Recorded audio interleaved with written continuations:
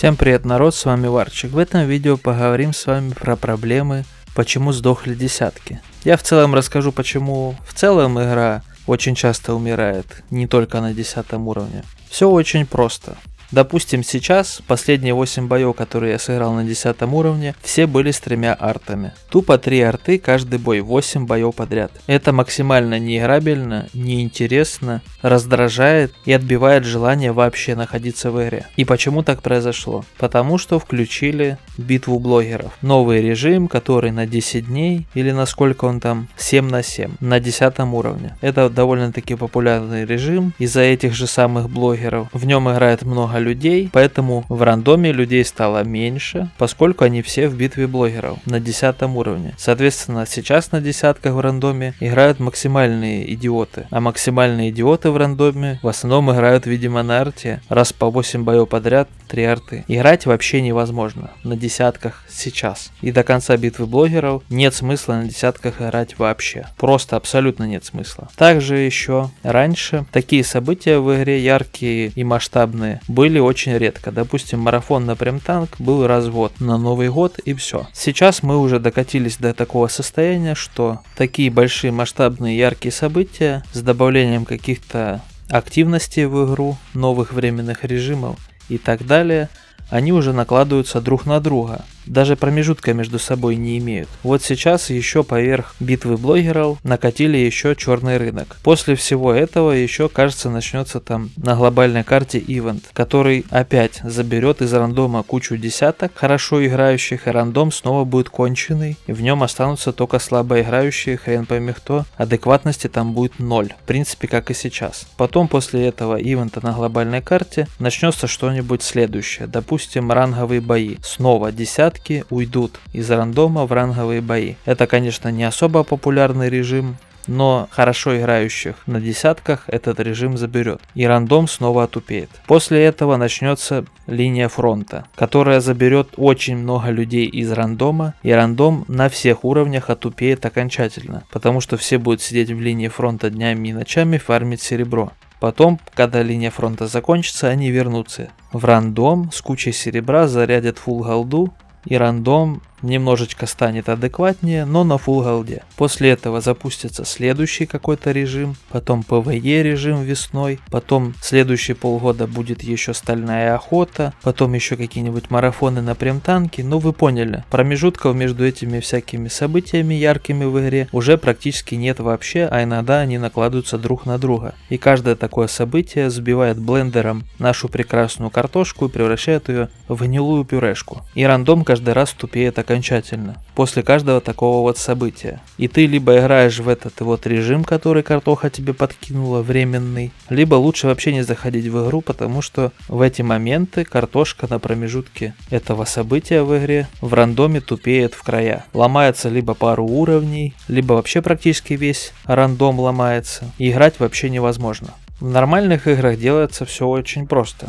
Добавляется режим, и он постоянно находится в игре, чтобы люди утряслись между этими режимами, и нормальные люди играли и там, и там, и потихоньку осваивались в игре в том режиме, в котором им нравится играть. Вместо того, чтобы бегать туда-сюда и в итоге забывать, как там играть, и там не успел поиграть, научиться, и туда-сюда бегаешь, и все ни к чему хорошему это не приводит. Но картошка наоборот взяла, выключила командные бои. КБ больше в игре уже давным-давно нету. Там вот лежали люди, никого не трогали, лицом на клавиатуре фармили серебро, никому не мешали. Их оттуда выгнали и понеслось куда попало. А теперь им предлагают играть во временные режимчики иногда. При том, что они и в рандом-то не особо.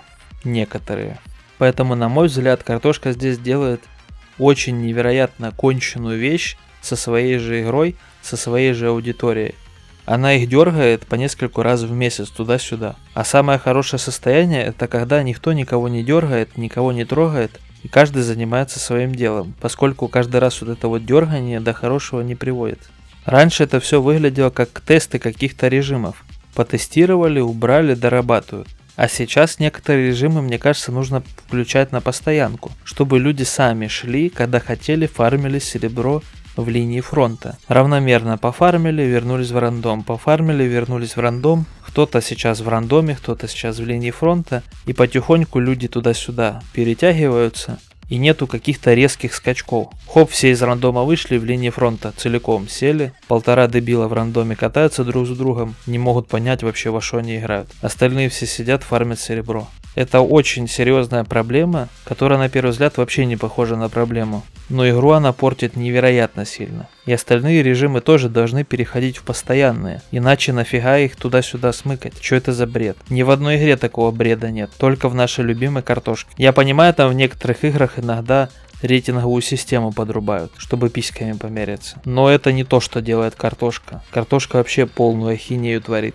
Плюс еще к этому могу добавить, что проблема в десятках добавляется еще в следующем факторе, что сейчас настолько быстро и много можно получать опыта, что люди за тысячу боев прокачивают по три ветки 10 уровня. И в принципе за счет чертежей можно вообще не играя прокачивать ветки. За этот Новый год я вообще три ветки докачал до 10 уровня. С 8 до 10. При том, что я вообще не играл ни на восьмерке, ни на девятке, ни на десятке. Просто поклацал чертежики, и оно прокачалось. И люди, которые не играли в танчики, могут за очень маленькое количество боев дойти до 10 уровня. И что они там будут делать? Полный бред. При том, что и старые игроки-то не особо все и умеют играть. В общем, меня нереально сильно напрягает тот факт, что когда подрубают какие-нибудь режимчики в картохе временные, невозможно играть в рандом. А в эти режимы, которые подрубают, не всегда хочется играть. И не всегда даже нужно в них играть, потому что в них, кроме как, допустим, пофармить серебро, нечего больше делать. А допустим, серебро есть. Зачем тогда в него играть? А в рандоме уже не поиграешь. Причем бывает довольно-таки продолжительный период времени не поиграешь в рандоме. Да и я вижу, что это дергание туда-сюда на людях тоже сказывается не самым хорошим образом. С вами был Варчик, играть красиво, всем пока.